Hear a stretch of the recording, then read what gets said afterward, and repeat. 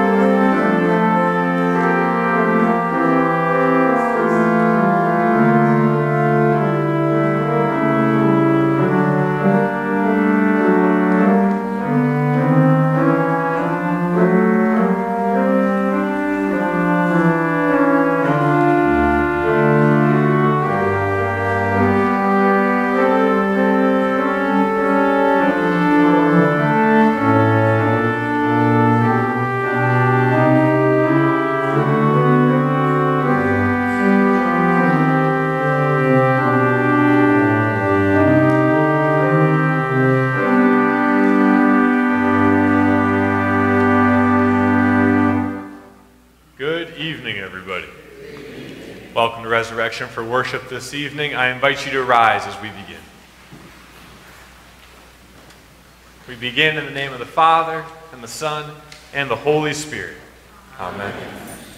In this Lenten season, we have heard our Lord's call to intensify our struggle against sin, death, and the devil, all that keeps us from loving God and each other. This is the struggle to which we were committed at baptism. God's forgiveness and the power of His Spirit to amend our lives continues with us because of His love for us in Jesus our Savior. Within the community of the church, God never wearies of giving peace and new life. In the absolution, we receive forgiveness as if from God Himself. This absolution we should not doubt, but firmly believe that thereby our sins are forgiven before God in heaven. For it comes to us in the name and by the command of our Lord. We who receive God's love in Jesus Christ are called to love one another, to be servants to each other, as Jesus became our servant. It is, however, in the Holy Communion that the members of Christ's body participate most intimately in his love. Remembering our Lord's Last Supper with his disciples, we eat the bread and drink the cup of this meal. Together we receive the Lord's gift of himself and participate in that new covenant which makes us one in him. The Lord's Supper is the promise of the great banquet we will share with all the faithful when our Lord returns, the culmination of our reconciliation with God and each other. In our sin and sinfulness, we make excuses, squandering and taking for granted the grace of God and the banquet He so freely gives. Most merciful God, we confess that our very nature is sinful. We do not love you with our whole heart, soul, mind, and strength. We do not love our neighbors as ourselves. It is natural for us to make excuses when you are present gifts to us. Because of our sinfulness, we deserve to be shut out of the banquet. Though you are great generous in your love, we deserve only your wrath. Forgive us, most holy God. Upon this, your confession, I, by virtue of my office as a called and ordained servant of the word, announce the grace of God unto all of you. And in the stead and by the command of my Lord Jesus Christ and by his authority, I therefore forgive you all your sins in the name of the Father and the Son and the Holy Spirit. Amen. You may be seated. We read responsively hymn Psalm 116. What shall I render to the Lord for all his benefits to me? I will lift up the cup of salvation and call on the name of the Lord. I will pay my vows to the Lord in the presence of all his people. Precious in the sight of the Lord is the death of his saints. O Lord, I am your servant. I am your servant, the son of your maidservant. You have loosed my bonds. I will to you the sacrifice of thanksgiving and call on the name of the Lord. I will pay my vows to the Lord in the presence of all his people, the courts of the house of the Lord, in your midst, O Jerusalem. Praise the Lord. Glory be to the Father, and to the Son, and to the Holy Spirit, as it was in the beginning, is now, and will be forever. Amen.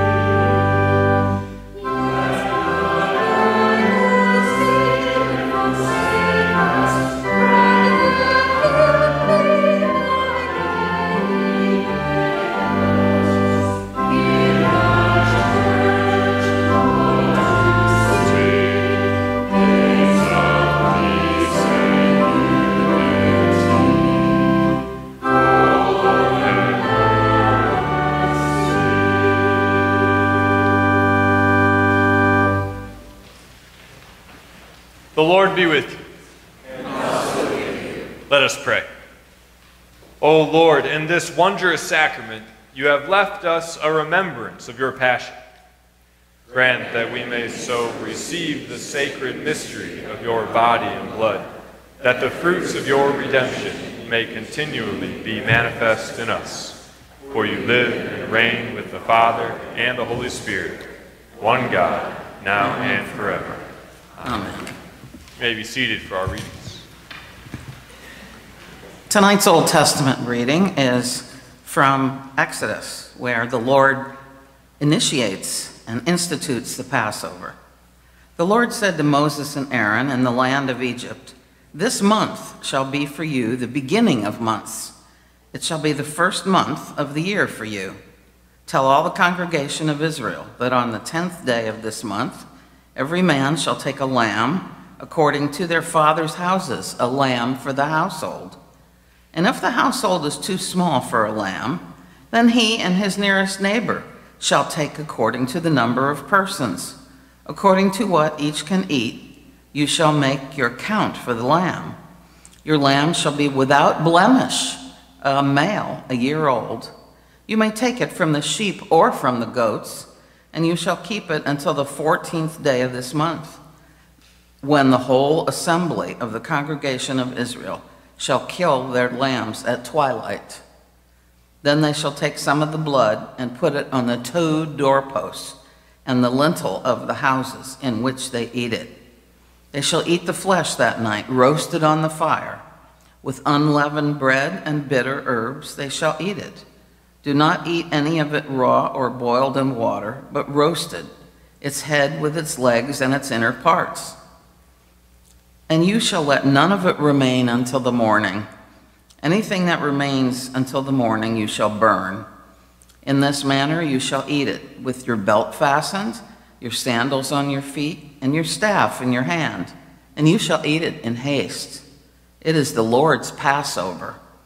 For I will pass through the land of Egypt that night, and I will strike all the firstborn in the land of Egypt, both man and beast, and on all the gods of Egypt I will execute judgments. I am the Lord.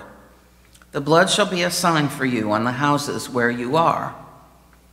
And when I see the blood, I will pass over you, and no plague will befall you to destroy you when I strike the land of Egypt.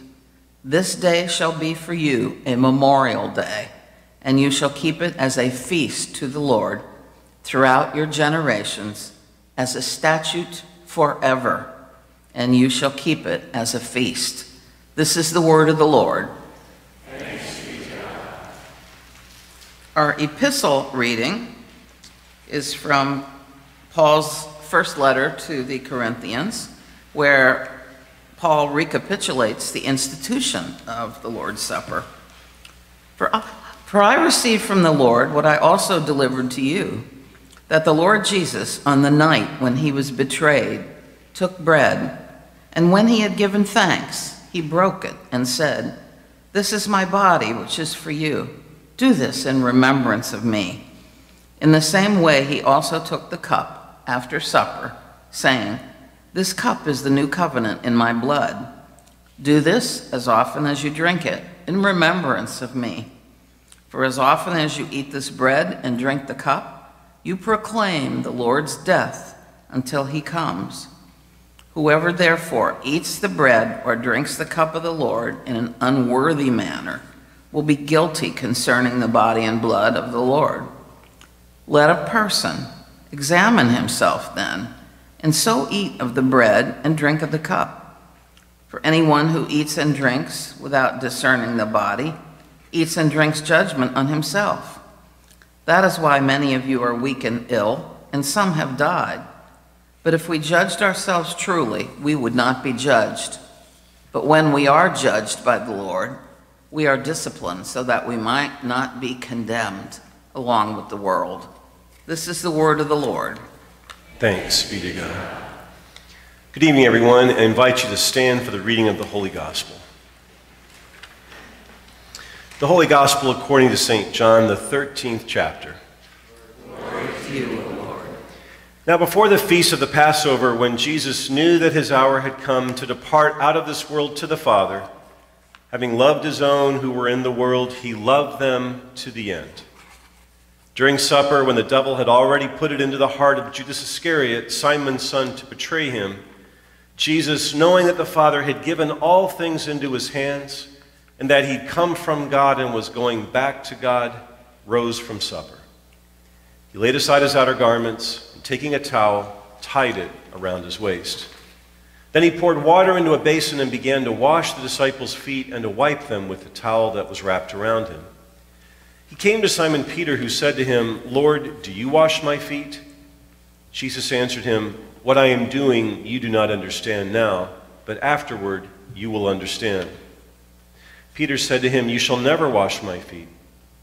Jesus answered him, If I do not wash you, you have no share with me.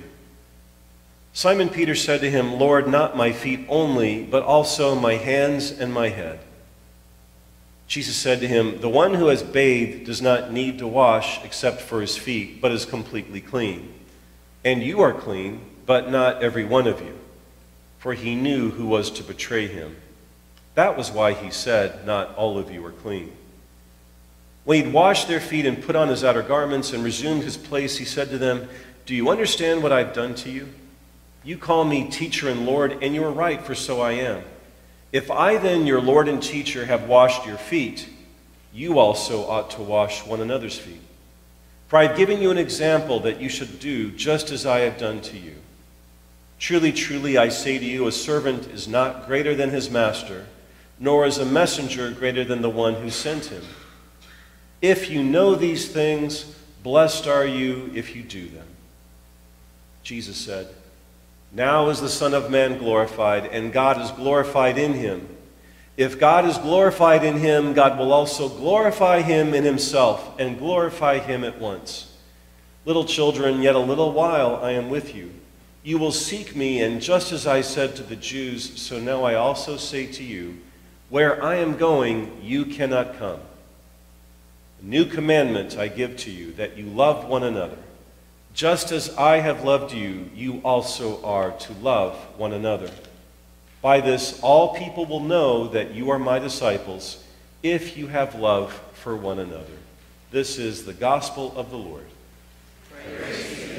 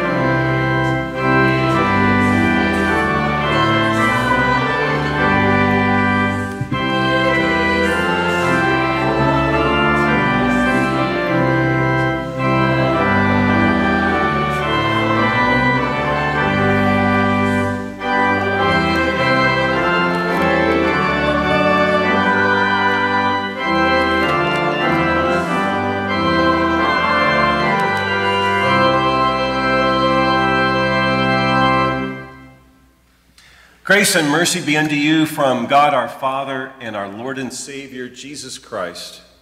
Amen. There are two appointed epistle readings for the church for tonight. One is the passage from 1 Corinthians, which we all just heard. An alternate, which I'd also like us to consider with our focus on the topic of the Lord's Supper this evening, is from the book of Hebrews. And let me just read that to you. It's from Hebrews chapter 10, beginning at verse 11. And by God's will, we've been sanctified through the offering of the body of Jesus Christ once for all. And every Jewish temple priest stands daily at his service, offering repeatedly the same sacrifices which can never take away sins. But when Christ had offered for all time a single sacrifice for sins, he sat down at the right hand of God, waiting from that time until his enemies should be made a footstool for his feet. For by a single offering he's perfected for all time those who are being sanctified, and the Holy Spirit also bears witness to us. For after saying, This is the covenant that I will make with them after those days, declares the Lord, I will put my laws on their hearts and write them on their minds. Then he adds, I will remember their sins and their lawless deeds no more. Where there is forgiveness of, of these, there is no longer any offering for sin. Therefore, brothers, since we have confidence to enter the holy places by the blood of Jesus, by the new and living way that he opened for us through the curtain, that is, through his flesh, and since we have a great priest over the house of God, let us draw near with a true heart, in full assurance of faith, with our hearts sprinkled clean from an evil conscience and our bodies washed with pure water. Let us hold fast the confession of our hope without wavering, for he who promised is faithful. And let us consider how to stir up one another to love and good works, not neglecting to meet together, as is the habit of some, but encouraging one another, and all the more as you see the day drawing near. Here we are. It's Maundy Thursday. First of three very special services that put a kind of a point of climax to this Passion Week, this Holy Week. Maundy Thursday, of course, as we just spoke a moment ago, is our celebration of all that took place on the night that Jesus was betrayed.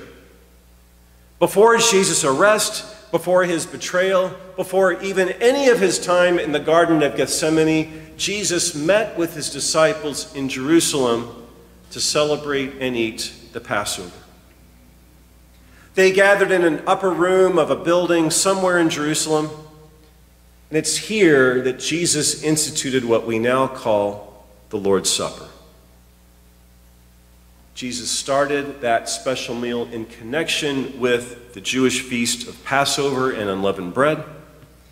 It's a ritual meal closely tied to the history of God's people, who, by God's mighty hand and in connection with the Passover event were released from their bondage of slavery in Egypt and set their course as sojourners for the promised land. Five of our congregation's youth, Ethan, Wyatt, Charlotte, Zachary, and Eloise, who will be receiving Holy Communion for the first time tonight. Some of them are out of town for the vacation, but some of them are also here um, they've taken time not only to learn about what Holy Communion is all about, they've studied what the Lord's Supper means and the gifts that it conveys and brings to them.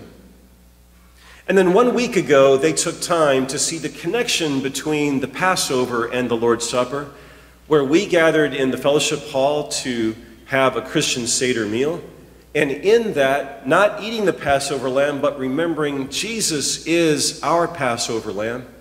And this meal that was celebrated by Jesus and his disciples was to prepare them and connect them to the work of God in freeing them from their sins and all that Jesus Christ would do for them. So now we, together with all of these first communion goers, gather not only to remember and celebrate just how life giving the Lord's Supper is, we gather to touch, taste, and receive the very body and blood of the Son of God, Jesus Christ, for the forgiveness of our sins once again. As people who receive Jesus together, we have the God given confidence to know that there's no longer anything, there's no longer anyone who can keep us somehow apart from God. There is nothing and no one that can separate us from the love of God which is ours in Christ. And when I talk about all of that tonight, I want to focus on that word confidence. Talking about God given confidence, I'm not talking about it in the context of a kind of self confidence or bluster, the way we may be used to hearing or using that word. I use it in the sense of boldness, in the sense of an at ease sort of attitude before God because of the forgiveness of sins that Jesus Christ has won for us. It's a little like the attitude of belonging that uh, if you're a pastor's kid or if, uh, uh, you know, if you've known of one yourself, you might remember what it was like to show up at church and just sort of feel like this was your turf, you know? You could sit in you sit in your dad's chair and, you know, you were kind of in charge. You belonged. You didn't have to ask anybody for permission to go into the pastor's office and sit in his chair. Didn't ask, have to ask for any kind of, or make an apology for sort of, you know, going where you wanted to go. This was the spot that you had kind of a right to be at as the pastor's kid. Well, because of Christ and because of what Christ has done for us in his death and resurrection, we can think of our own Heavenly Father and enjoy the confidence of that one on one presence with Him, knowing that there's no need to ask for permission, there's no need to uh, make some kind of, of uh, you know, do some kind of special work or special job, that Jesus Christ has done it all for us. Now, one of the biggest challenges to this kind of confidence, this God given confidence in life, is when we get to a place in life where either because of a momentary moral lapse or a longer lasting trial, time of, of true spiritual challenge, or even maybe a slow burn of a fading faith that occurs over time, no matter what it looks like, we feel like we're in a place where there's something we got to do to get that fire of faith lit in us once again. To times like this, helps to remember where the gift of God, God's confidence, that God given confidence, where that truly comes from. And you can see the answer in just the phraseology I'm using. So the word confidence comes from the Hebrews reading appointed for tonight let's start there and then see where this takes us as we try to get a handle on where confidence and boldness before God comes from. The book of Hebrews tells us that we have God given confidence that the only sacrifice, the only offering to God for sins that ever needed to be made has been made once and for all by the Son of God, Jesus Christ, on the cross. Many years ago, I used a workbook for adult faith formation that had these wonderful true and false questions in it to sort of review what people were getting and learning. A lot of the true false questions were kind of obvious and had sort of immediate answers. Uh, true or false, good Christians have no anxieties. False. Uh, true or false, Christ participated in the work of creation. True, okay. But most were kind of tricky. And so you'd answer the question, but you'd have to kind of explain your answer or say how you were hearing the question. There was one question that always got conversations going that I'll never forget, and it goes like this In view of Jesus' once and for all sacrifice for sins by his death on the cross, offering and sacrifices are no longer necessary. True or false? Because of Jesus' sacrifice, sacrifice for sins on the cross, sacrifice is no longer necessary. Who would say true to that? Okay. Who would say false to that? Who's too worried to answer to raise their hand? well, actually, it kind of depends on how you, as I said, how you read the question, right? Um, you could say, for example, that offerings and sacrifices are a very normal, expected response to what God has done for us in Christ Jesus, right? But the Word of God in the book of Hebrews assures us that the only sacrifice, the only offering to God for sins that ever needed to be made, has already been made. Once and for all by God's Son, Jesus Christ, on the cross. I've said it before and I'll say it again. If somebody asks you when you were saved, you say, when Jesus died for me. That's when it happened. Simple. Jesus Christ died as our Passover lamb. And that sacrificial death has brought us life. That gift of salvation means that we have received the invitation to come to the table of the Lord this evening. It's not a matter of our sacrificing or our committing or our perfect and unswerving faith. No, our inclusion in the supper tonight requires of us only empty hands to receive God's gifts. When Jesus died on the cross and the temple curtain was torn from in two from top to bottom, all that that indicated was that there was no longer anything, no sin, no impurity, no lack of faith that could come between the God of the universe and the forgiven sinners that were standing before him.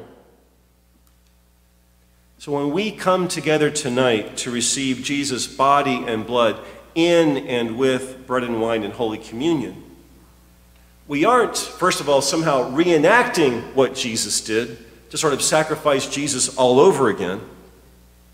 And we're certainly not bringing some necessary third element into the process to sort of jumpstart bread and wine and turn it into the body and blood of Jesus by our faith by some certain level of fervent faith. No, Jesus has done everything already needed. He's done what's required for us to receive his body and blood in empty hands. The work is finished, it's taken care of. It is over and done. Period. So, the first takeaway received from Hebrews that the only sacrifice needed has been made once and for all by Jesus. That's where our confidence from God comes from. If Jesus is our Passover lamb and has made the perfect sacrifice for our sins, all there's left for us to do is to receive him. And St. Paul bears that point out as he tells the Corinthian Christians that the bread and wine of the Lord's Supper is not ordinary bread and wine by itself, no matter how we as people of faith approach them. First, Paul tells us, he lets us know that what we eat and drink is not ordinary bread and wine, but ordinary bread and wine made extraordinary by the word of Jesus. Jesus said about the bread and about the cup drunk by the Corinthian Christians and by us tonight, This cup is the new covenant in my blood. This is my body. Those are Jesus' words. That should end any speculation right off the bat about you know, whether this is some kind of symbolic thing that is happening. It is what Jesus says it is his body and his blood. But then, as Paul calls out the unacceptable behavior of the Corinthians, who, as they're celebrating the supper, made it part of a larger communal meal where folks brought their own food, kind of like a big potluck, and those that were rich would feast on their rich food, and those who didn't have so much didn't have enough to eat. Paul makes it clear that the body and blood of Jesus, which had become a part of this meal, was something that they were guilty of sinning against. And in doing so, he makes it clear that the bread and wine of the sacrament cannot simply be symbols and nothing. Eating and drinking in the unworthy way they were, Paul warned, would make them guilty concerning the body and blood of Jesus. If what we receive in the Lord's Supper were only bread and wine that somehow symbolized our Lord's body and blood, how could such guilt even be possible? I mention all of this not because I'm worried that we're going to turn Lord's Supper tonight into some kind of, a, you know, a huge banquet or, you know, overdo it or something like that. Rather, because this bread and wine, made extraordinary, made the very body and blood, made something that conveys to us, brings to us the very body and blood of Jesus Christ because of his word, does so just like that. It's ordinary bread and wine, which by the word of God we receive with the very body and blood of Jesus. We don't understand how it works. We might even be tempted to doubt that Jesus' word accomplishes what it says it accomplishes. But God's presence in the supper, here's the main point God's presence in the supper is not a matter of how strong or weak our faith is. The gift of the Holy Spirit, the forgiveness of sins, the strengthening of our faith, all of that comes to us freely and completely in the supper, no matter where our faith is on the scale of weak to strong, on the scale of 1 to 10. The perfect sacrifice of Jesus makes all of that confidence in that gift received possible. The body and blood of Jesus, which we receive in and with bread and wine in the Lord's Supper, delivers Jesus. It delivers the confidence that we need. It's not up to you and me to somehow make it effective. We take heart that it delivers what God says that it does. There's no reason why we shouldn't take every opportunity to receive these gifts in Holy Communion together and to do so regularly. And that brings me back to Hebrews again as we consider the outcome of the confidence that's ours in Christ.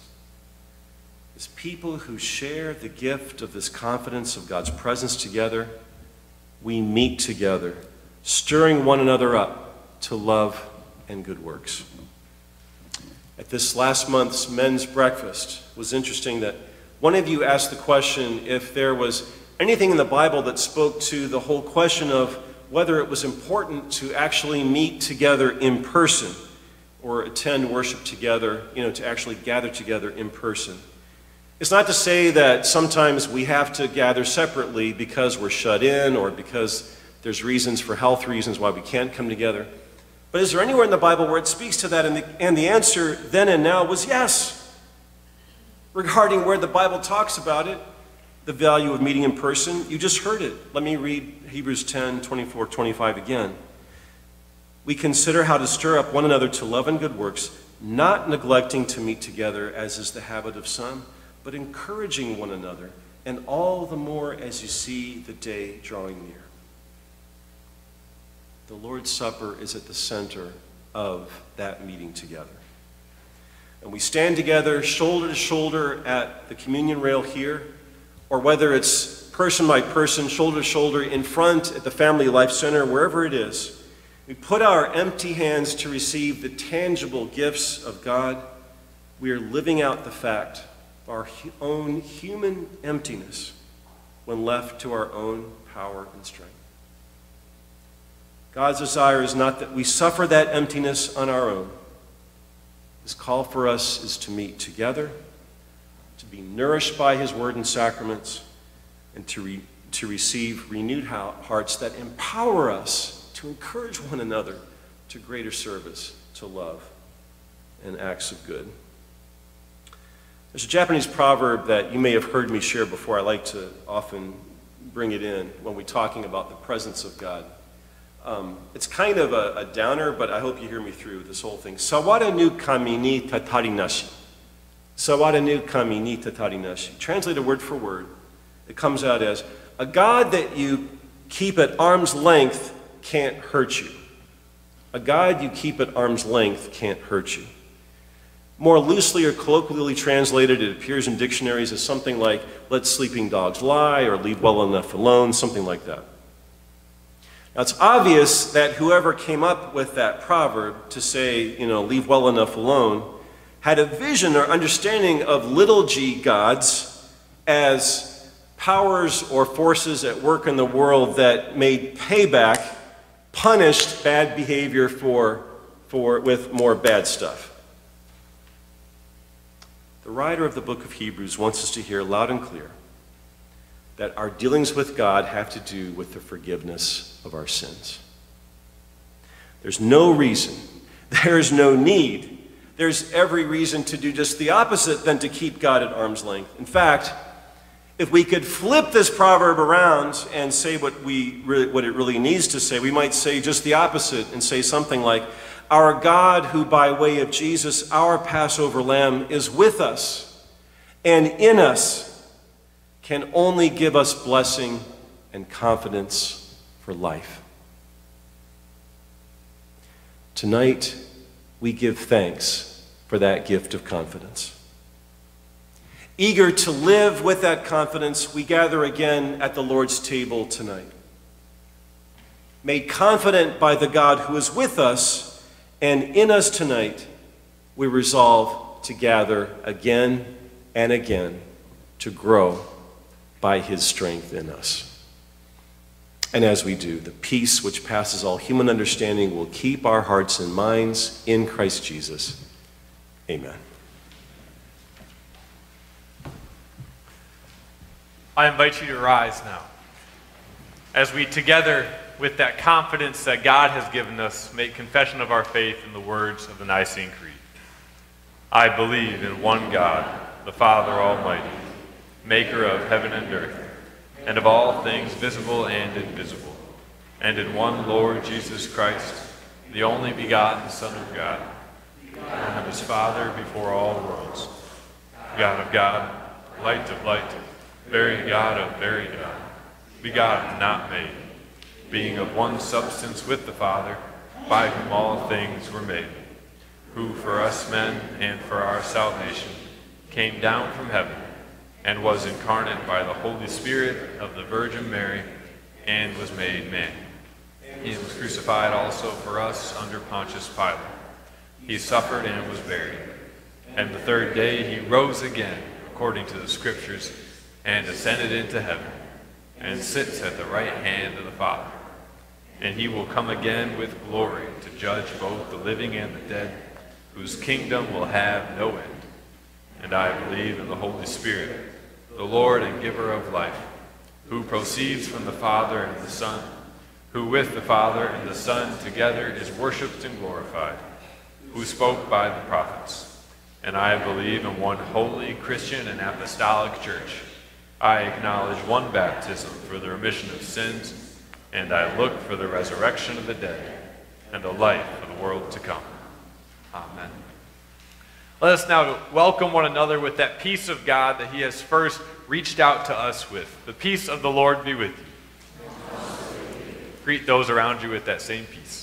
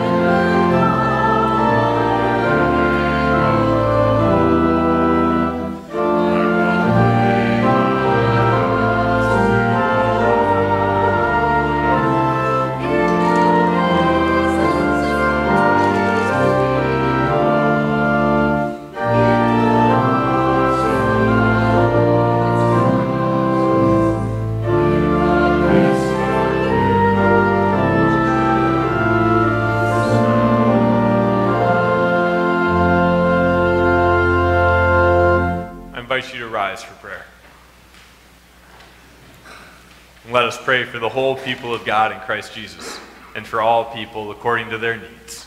We pray. Lord God, Heavenly Father, we thank you for drawing us close to you, for giving us the confidence earned for us by the sacrificial death of your Son, Jesus Christ, that we may approach you, that we now are at peace with you, and that you desire for us to have that one on one participation, that one on one time with you. May you continue to guide us in this relationship, that we may continually meet together in person to receive your good and perfect gifts, reminding us that there is no longer any separation between us and you, but that your love that is ours in Christ will always draw us near to your presence. Lord, in your mercy. And Heavenly Father, as we joyfully come together to receive your good and perfect gifts at your table and before your altar, we celebrate today with those who will commune with us for the first time. We celebrate with Zachary, Charlotte, Wyatt, and Eloise, and their families. May you continue to strengthen them in their faith. Shower upon them your forgiveness and grace this day and to life eternal. May you continually build them up in their faith, guide them in their faith journey as they are always drawn closer to you. Surround them with the arms of your church, with their families, and all those that you will use to continue to guide them in their faith walk. Lord, in your mercy. And Savior, Jesus, Lord, we thank you for the example and the service that you give us. We thank you for your story of washing your disciples' feet, that in this you show us what true love looks like. May we follow your lead, your example, to love and serve as you love and serve us, always putting the needs of others before ourselves, and to looking and to look for ways that we may continually serve in your mission. Lord, in your mercy. Into your hands, O God, we commend ourselves and all for whom we pray, trusting in your mercy for the sake of your Son, Jesus Christ our Lord. Amen. Lord, remember us in your kingdom and teach us to pray. Our Father, who art in heaven, hallowed be thy name. Thy kingdom come, thy will be done, on earth as it is in heaven. Give us this day our daily bread, and forgive us our trespasses, as we forgive those who trespass against us. And lead us not into temptation, but deliver us from evil. For thine is the kingdom, and the power, and the glory, forever and ever. Amen. The Lord be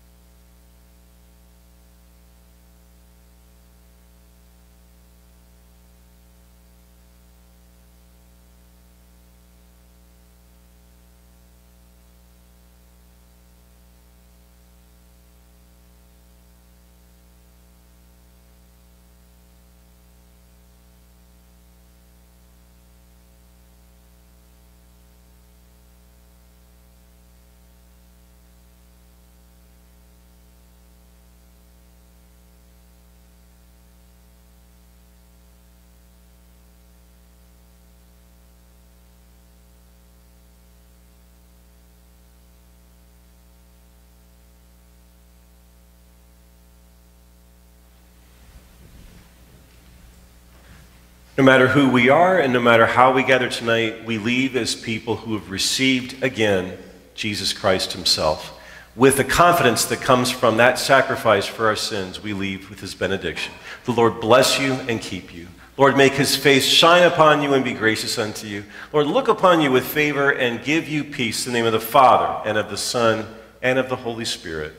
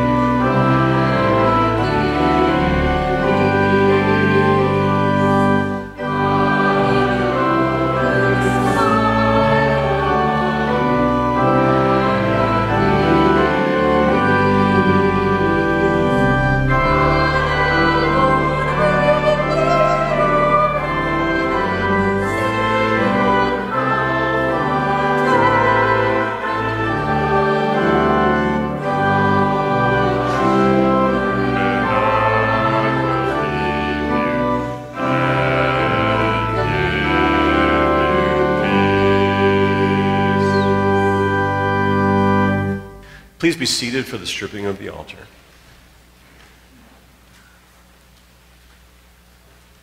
From Psalm chapter 27 The Lord is my light and my salvation. Whom shall I fear? The Lord is the stronghold of my life. Of whom shall I be afraid? When evildoers assail me to eat up my flesh, my adversaries and foes, it is they who stumble and fall. Though an army encamp against me, my heart shall not fear.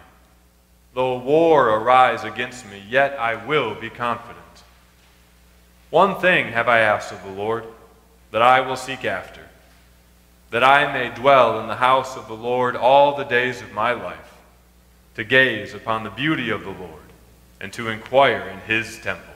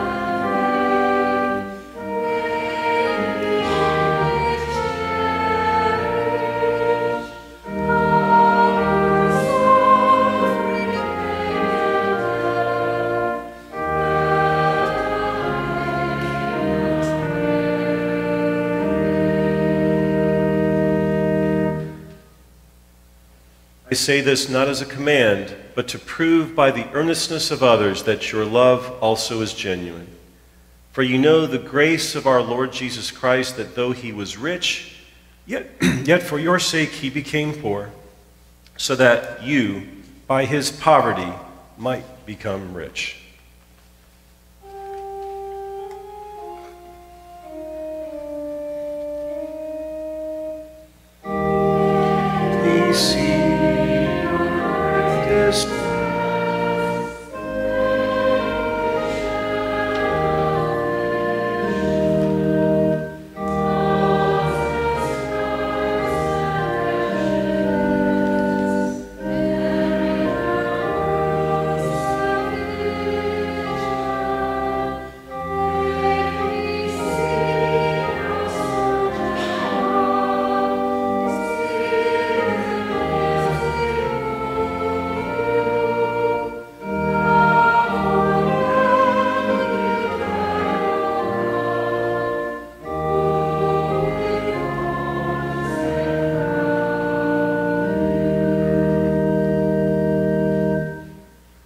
May the Lord answer you in the day of trouble. May the name of the God of Jacob protect you. May he send you help from the sanctuary and give you support from Zion. May he remember all your offerings and regard with favor your burnt sacrifices. May he grant you your heart's desire and fulfill all your plans.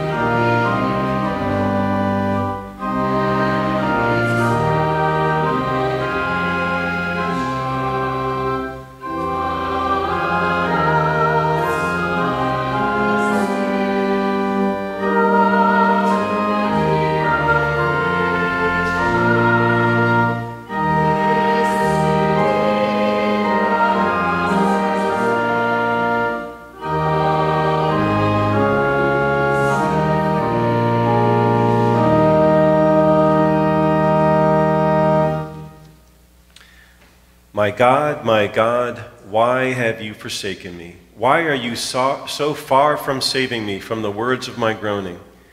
Oh my God, I cry by day, but you do not answer, and by night I find no rest.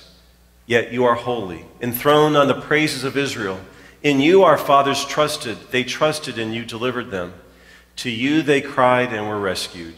In you they trusted and were not put to shame.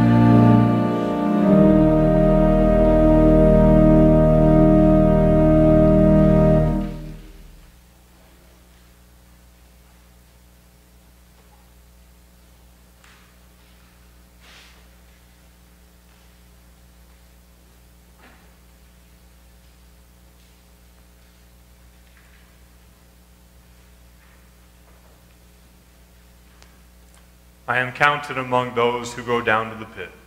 I am a man who has no strength, like one set loose among the dead, like the slain that lie in the grave, like those whom you remember no more, for they are cut off from your hand. You have put me in the depths of the pit, in the regions dark and deep. Your wrath lies heavy upon me, and you overwhelm me with all your ways. You have caused my companions to shun me. You have made me a horror to them. I am shut in so that I cannot escape. My eye grows dim through sorrow. Every day I call upon you, O Lord. I spread out my hands to you. Do you work wonders for the dead? Do the departed rise up to praise you? Is your steadfast love declared in the grave, or your faithfulness in Abaddon? Are your wonders known in the darkness, or your righteousness in the land of forgetfulness? But I, O Lord, cry to you. In the morning my prayer comes before you. O Lord, why do you cast my soul away? Why do you hide your face from me? Afflicted and close to death from my youth up, I suffer your terrors. I am helpless. Your wrath has swept over me. Your dreadful assaults destroy me. They, they surround me like a flood all day long. They close in on me together. You have caused my beloved and my friend to shun me. My companions have become darkness.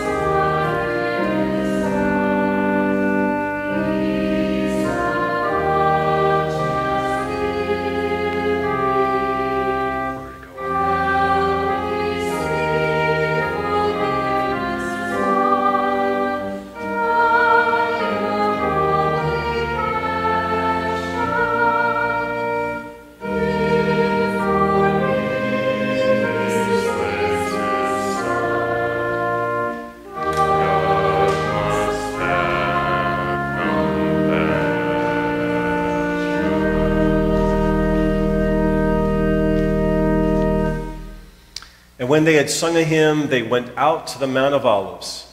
Then Jesus went with them to a place called Gethsemane. And he said to his disciples, Sit here while I go over there and pray. And taking with him Peter and the two sons of Zebedee, he began to be sorrowful and troubled. Then he said to them, My soul is very sorrowful, even to death. Remain here and watch with me.